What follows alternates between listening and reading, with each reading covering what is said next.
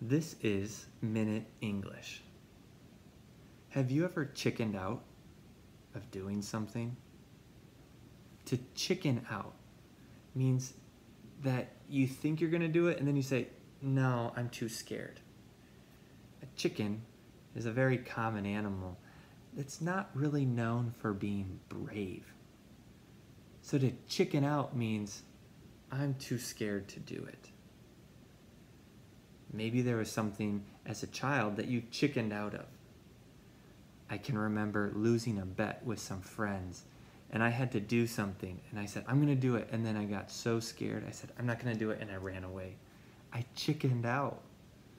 Can you think of a time in your life when you chickened out of something? Would you go back and change it? Or maybe there's something right now that you're chickening out of doing. Don't be a chicken. Go do it. If it's a good idea. If it's a bad idea, don't do it. That's not really chickening out. That's just being wise. But don't chicken out.